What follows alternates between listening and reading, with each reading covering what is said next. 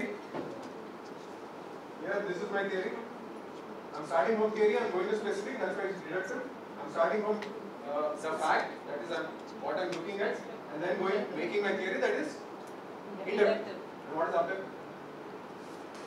Fact and observation. Fact and observation. Here, all three are there, in both cases. See, this is theory, this is observation. Then I'm making it. Sorry. This is the fact, this is the observation.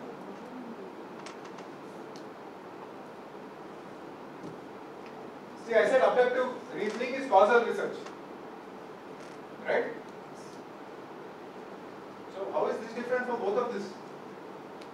It's not going from general to specific or specific to general, or it will be going from specific to specific only or general to general. Guess, I appreciate you for that, but that's not correct.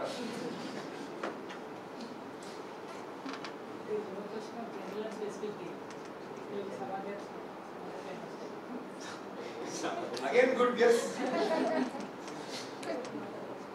It uses both inductive and deduct, induction and uh, deduction. This is what we use in our everyday lives without actually knowing it. When a doctor makes a diagnosis, he's using both induction and deduction, right? Yes, blood test. Blood test.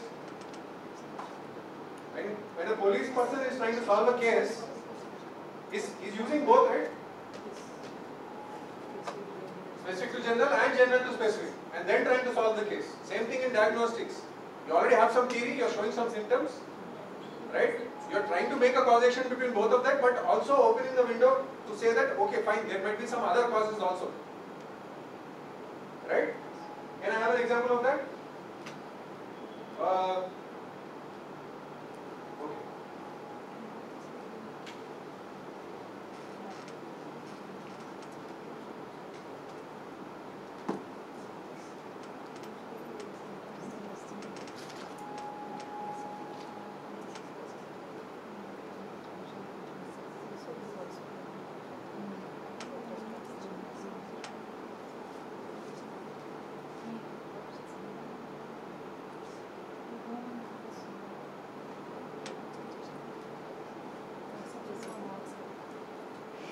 Observation.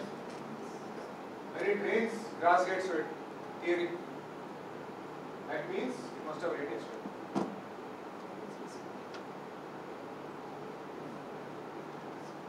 If I take out this, grass is wet.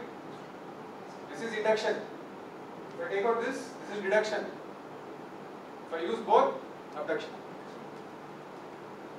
And abduction proves causality. This is what we use in causal. Right? So both regression and correlation have nothing to do with has to do with.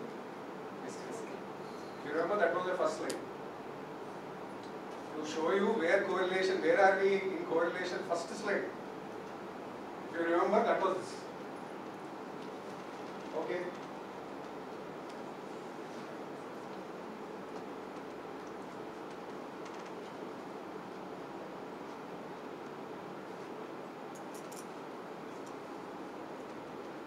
See, let me tell you one thing before actually going into other topics, especially in statistics. In statistics, the most important thing is for you to understand your basics clearly. Alright? It's not important for you to know great softwares, okay, high sounding concepts, not at all required. If you get your basics right, you can deduce the meaning of those concepts. So when I say structural equation modeling, it sounds high-fi, right? But it is nothing but only multiple regression. That's all it is. Okay, so if you understand if you understand regression, if you understand linear regression, you can understand structural equation modeling. Alright? I think not just statistics, I think in most disciplines, if you get your basics right, that's all is required for you to understand any concept in the discipline. Clear?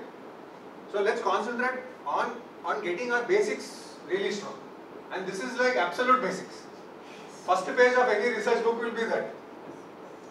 It's another thing that most of those publications are wrong also. That's another thing, but It's from discipline to discipline. For us, the research books are that we read are of different kind. Types of research, we have something else. Applied, uh, pure, pure fundamental research, applied research, are based on the nature of this, these are the kind, based on the nature of. For biotechnology, for them, the basic research, what they study may be different. their research, your research, both are same. Research is only one. What we study, those books are. Topics will be different. Topic, see, I, the definition of descriptive research cannot be different in their textbook and different in your textbook. It has to be same. If it is, then the textbook is wrong. On next levels, types of research and other concepts.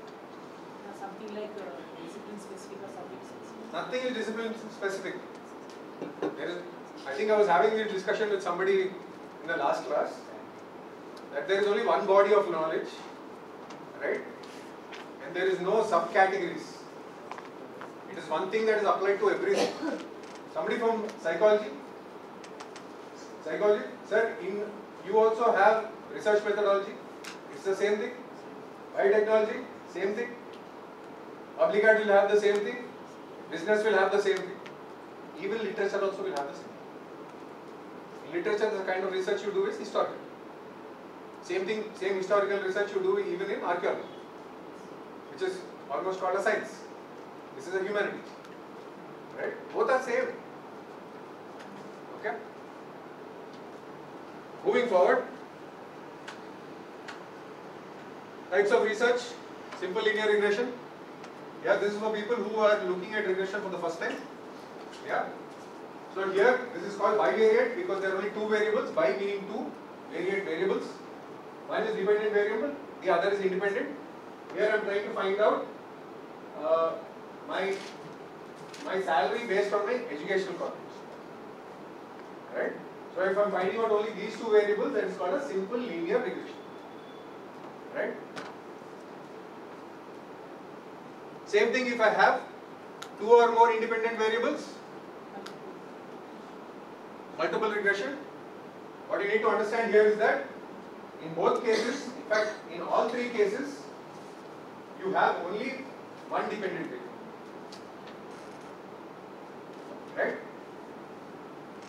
So here I'm, using educational degree, time that I spend at work, and my age. All three factors to determine how much my salary will be. Right? So this is multiple regression. Okay? Logistic regression, anybody's heard about this? Yeah, what is it? Okay, sorry, my question was wrong.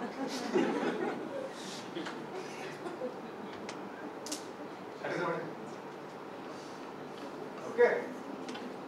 It can be either bivariate or multivariate where the dependent variable is categorical or dichotomous. That is yes or no. If you see here, the dependent variable here is metric. Right? But when the dependent variable is not metric, then you have to do logistic regression. Then all the all that we are going to study today will be of no use for logistic regression because that is based on logistical functions. 1 by 1 minus e to the power of r. It, it's a log function, okay, which we'll be not talking about in, in this session. But for you to just understand, all the assumptions that we make about simple linear regression and multiple re- uh, linear regression do not apply to logistic regression because my dependent variable is not metric, it is categorical. What about my uh, uh, independent variable? What about the scale of independent variable? Should it be metric? Or can it be ordinal? Or only ordinal? it can be anything. It can be anything. For logistic regression, must we apply log to those uh, numbers and convert it into something like metric? No, no, you don't have to apply log to the observations. The formula that you use to calculate your uh, beta coefficients, that is different. Only that, that is different and rest everything is Rest everything is, same like this. is similar. Is similar. You also have to use standardized beta coefficients, not unstandardized beta coefficients. Okay, fine. If you take me there, then everybody will, you know, zone out. Okay? So here if you see the example of logistic regression, here I have taken again educational degree, time of work and age, but not indicative of salary, but indicative of something categorical, that is whether that person experiences burnout at work or not.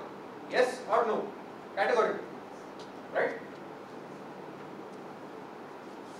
So here, like I said, my independent variables can be metric or categorical, yeah. Whereas in linear regression, you have dependent variables as metric, and here you have categorical for logistic. With me so far? Yes. Yeah? Anybody didn't understand something? Am I going too fast? Anything like that? Yeah? Can I move forward? So what I was saying, uh, this will not be the formula for logistic. Okay? So this is my basic formula for I've taken just only simple linear regression. Okay?